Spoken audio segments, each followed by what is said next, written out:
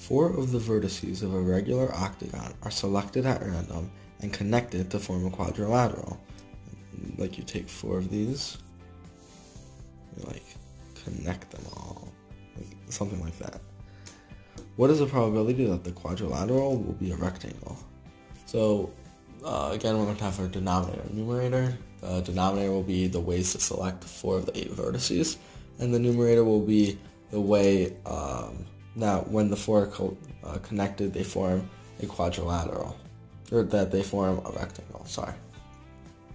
Um, so there are going to be 8 choose 4, which is 8 factorial over, which is going to be 7 times 6 times 5 over 3 times 2,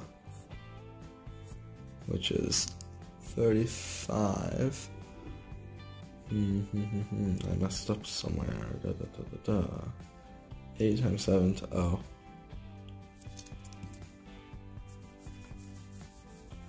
Uh, it's times 2 because I canceled out the 4 and the 8 when it's actually not canceled out. So it's 4 times 7 times 6 times 5 over 3 times 2.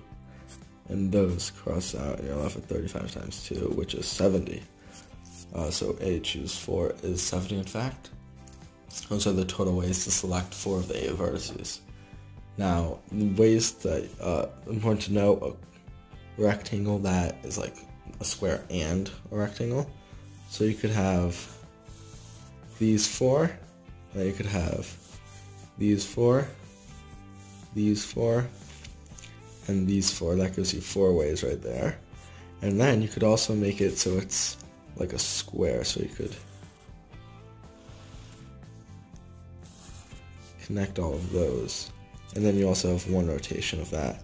That's another two ways. So we can see that there are six ways that work over the 70 total ways, and that can be simplified into 3 over 35. Thank you much for watching, and goodbye.